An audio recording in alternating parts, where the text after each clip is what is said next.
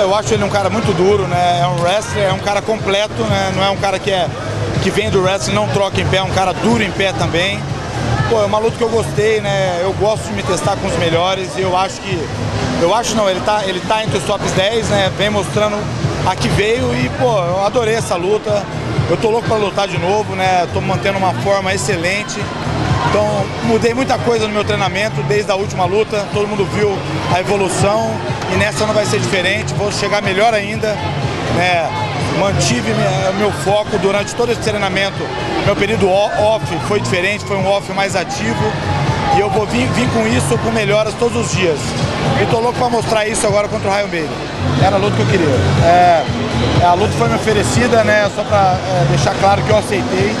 Né, primeiro momento. Então eu acho que o Bailey é um cara duro, o é um cara duro, mas o Daniel também Cormier é um cara muito duro, mas eu acho que o meu jogo casa com esse estilo de luta, né? Eu nunca escolhi luta nenhuma. Pô, sou funcionário do UFC e vou estar ali para representar da melhor forma possível. Eu acho que eles acreditam em mim, no entanto estão me colocando para lutar com um dos top 10 da categoria. E eu vou estar lá mostrando que eu vim. Eu estou bem treinado, nunca tive tão bem na minha vida como eu estou agora. E vou chegar lá 200%.